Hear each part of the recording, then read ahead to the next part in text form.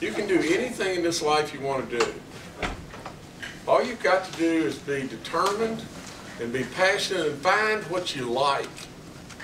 Find the thing that you really like.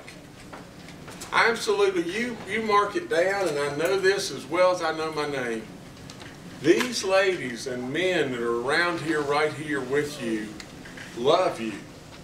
And they want you to do real, real neat, great stuff. And they are the best of the best of the best. Your teachers and your county superintendents and the people that are trying to help you are, trust me, they're the very best. I owe my whole life to Wyoming County. My whole life. I do. Now, absolutely, you know what I want more than anything in the world? I want opportunity for you that you can stay in Wyoming County. You can stay in West Virginia and have all the goodness that you want. That's what I want. Because I mean this when I tell you I love you. I know they love you. They love you in every way.